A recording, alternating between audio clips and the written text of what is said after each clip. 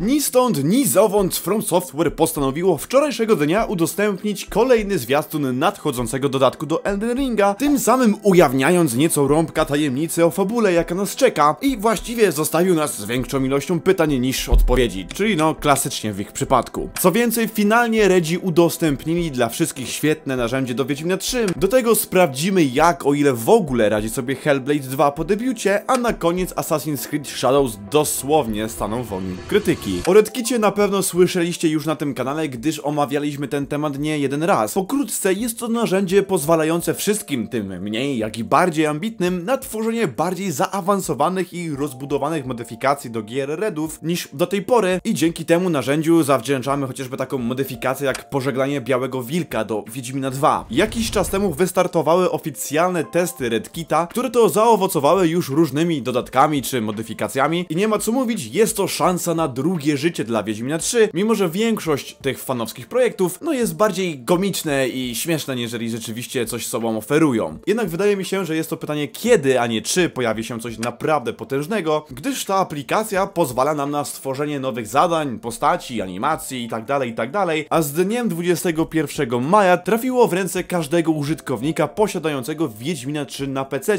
czy to na Steamie, czy na Gogu. Jest to workspace, który jest bardzo bliski pełnoprawnemu silnikowi Red Engine, przy pomocy którego stworzono właśnie Wiedźmina 3. No i od tego momentu pozostaje nam jedynie czekać na pomysłowość społeczności. A, no i warto też wspomnieć, że sama aplikacja jest dostępna w języku angielskim. Niech ten, kto nie czeka na nowe DLC do Elden Ringa, pierwszy rzuci kamieniem. Okej, okay, no może takie osoby się znajdą, ale obiektywnie patrząc na ostatni trailer, który został nam właśnie udostępniony wczoraj, to mało kto może powiedzieć, że nie jest on prześwietny. Tak jak już wspomniałem, dosyć nietypowo, bo tak praktycznie znikąd From Software stwierdziło, że udostępni nam właśnie co nieco o fabule i historii, jaką przyjdzie nam poznawać w dodatku Shadow of the Tree. No i w sumie okazuje się, że powinniśmy wiedzieć po tym trailerze coś więcej, a nie wiemy praktycznie nic i mamy coraz więcej pytań. Jednak co wiemy z pewnością, ten nowy dodatek ma zaprezentować nam świat cienia, czyli zupełnie nowy region, gdzie my jako reprezentanci grupy Tarnished mamy podążać śladami Mikuela, który to stwierdził, że pójdzie sobie na wycieczkę do świata cienia, szukać tam spełnienia swojego celu. Znamy też oczywiście premierę, która jest przewidziana na 21 czerwca tego roku. Dostaliśmy także informację, że dodatek ma zaoferować nam 8 nowych typów broni, ponad 10 bossów do pokonania i mapę podobną rozmiarowo do Limgrave. No ale wróćmy jeszcze do tego trailera, na którym pojawia się chociażby Mesmer the Impaler, czyli przypuszczalnie jeden z finałowych bossów nadchodzącego dodatku, który to no w dosyć epicki sposób jest ukazany na tym zwiastunie, niszcząc wszystko dookoła siebie, paląc wszystko co się da żywcem i nabijając każdego na pal. Pojawia się także królowa Marika i przypuszczalnie moment, w którym stała się boginią i stworzyła świat, który przyszło nam eksplorować w podstawowej wersji Elden Ringa, a poza tym, no to cóż wam więcej powiem, sam nie jestem zagłębiony w lore Elden Ringa na tyle, żeby móc tutaj rozpatrywać każdy szczególik i rzeczywiście powiedzieć wam o co dokładnie chodzi w tym trailerze, co na pewno to trzeba przygotować się w cierpliwość,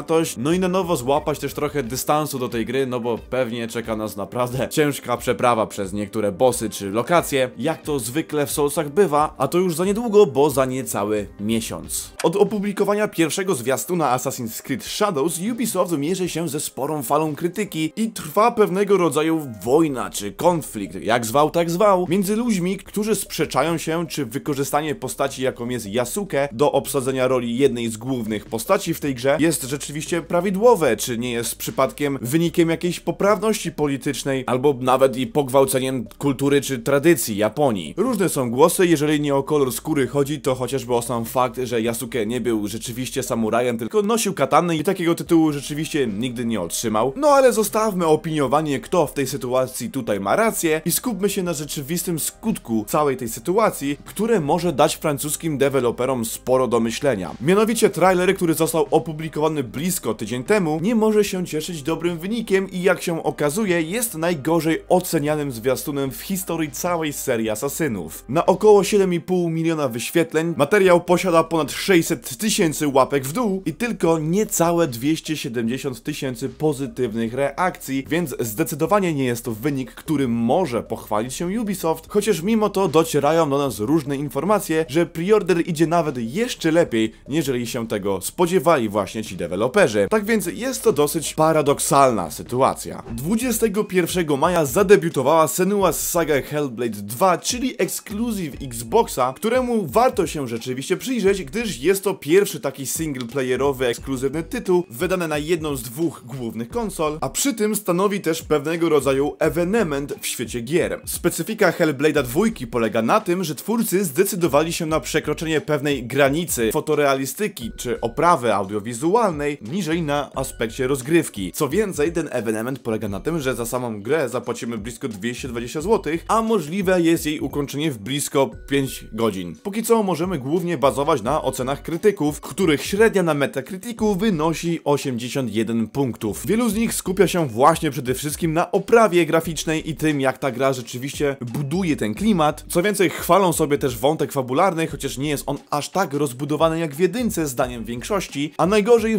wypada segment zwykłej rozgrywki, gdyż walka czy eksploracja jest raczej tutaj przyziemna. Obiektywnie patrząc na tą grę, oceniając jej z perspektywy zwykłej, klasycznej gry, jest tutaj trochę nie w porządku. Tak jak powiedziałem, jest to specyficzny tytuł i nie należy jej oceniać jak każdego innego wydania. Głównie w Hellblade mamy nacisk na klimat i historię i zdecydowanie nie każdemu przypadnie to do gustu. Wszystko zależy tutaj od tego, jak na to spojrzeć. Jeżeli rozpatrujemy na przykład stosunek czasu gry do jej ceny, no to tutaj rzeczywiście możemy jasno stwierdzić, że jest za krótka, ale jeśli już chodzi o stosunek jakości do ceny, to możliwym jest się o to nieco pokłócić. To by było na tyle na razie, cześć pa.